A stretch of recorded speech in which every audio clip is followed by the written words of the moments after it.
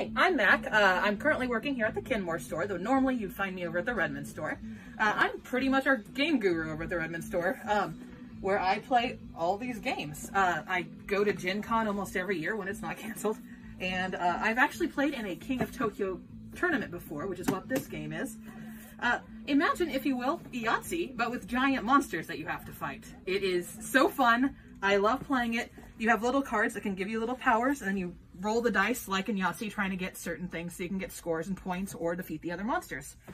Uh, hardly recommended by me, and I play, uh, I have a board game group that meets once a week, and another one that meets once a week, and then another one that I just do Dungeons & Dragons at, so I kind of know what I'm talking about.